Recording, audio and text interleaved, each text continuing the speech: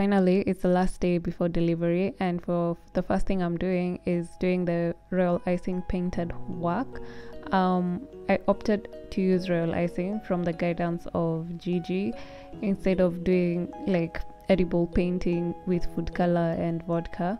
She advised me to use royal icing because she uses that and it works out very well and i'm very happy i listened to her and didn't go the edible paint way because it turned out to look like my client wanted. And from the cake we were looking at or rather i was imitating. And i really enjoyed doing this. Um, then i my gift or giveaway cakes the parents cakes i just covered them with an edible border a beadwork for all three of the cakes and then just painted them uh, steamed them then added the gold leaf next thing i did was paint not paint what's it called? Bake the cake the sheet cakes that were going to be cut into like pre-cuts. So i made that then rushed to the salon to get my nails done cause i was looking dusty. Then um, when i got back home i just continued where i'd left off. Um, so i basically finished up the cakes because um, I realized I had so much time, I would rather just do the things I would typically do the next morning. Let me just do them that evening. So I added my flowers and then wrapped um, the gift boxes, the gift cakes, the parents' cakes. I just packed them into the boxes because this see through tra- transparent boxes waste so much of my time, man. I find them so time consuming. They are so pretty, but they waste so much of your time. I get them from Iome. I hope I'm saying her name right. Iome Cake Packaging. And then I got my flowers from Purple Sugar, Craft. Yes, so the marble boards and the packaging for these transparent cake cake boxes. Oh my god, English is gone.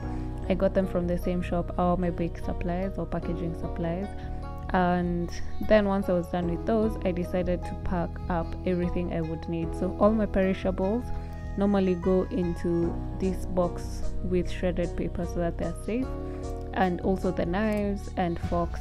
So my I changed my glasses into these gold ones because they're long lasting unlike the glass ones I used to carry 90% of the time I never come home with them and then the other items like uh, stacking materials, I just put them in the other box.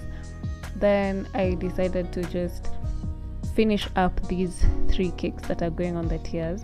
My initial plan was to go add gold leaf at the wedding, but then it hit me how would I do that? I'd have to actually carry my fondant steamer, but then it, it like clicked even if I carry the steamer, there's no guarantee I'm going to get like a source of electricity so that I can plug in my steamer and steam the cakes to be able to use it. And so I just opted to do the gold leaf on the cakes. Then once I get to the wedding, it would be easier for me to just add whatever needs to be added. I was also very tempted to add the bead, the fondant beadwork, but that wouldn't work because once they dry, I wouldn't be able to comfortably stack my cakes. So I just chose to make those tomorrow before I leave for the venue. So here is how everything looks.